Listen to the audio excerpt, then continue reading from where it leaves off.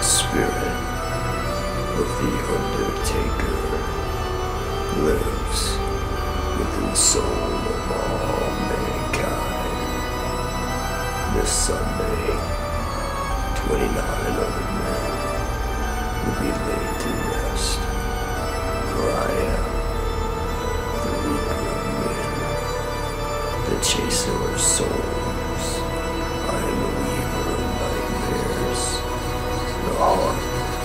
of darkness, and the Sunday at the world of all mankind will witness the rebirth.